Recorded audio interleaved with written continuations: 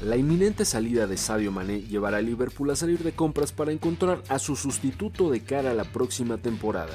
Y es que después de conquistar dos títulos y quedarse cerca de otro par, los Reds apuntan a ser uno de los rivales a vencer la siguiente campaña. Por ello no desestimarán en gastos para conformar un gran plantel.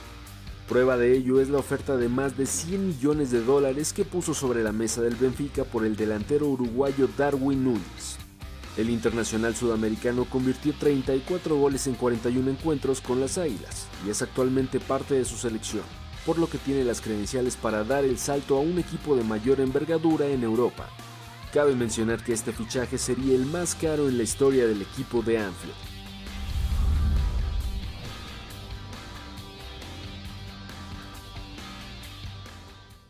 Ya que nos encontraste, no olvides que Telemundo y Peacock son la casa exclusiva en español de la Copa Mundial de la FIFA Qatar 2022.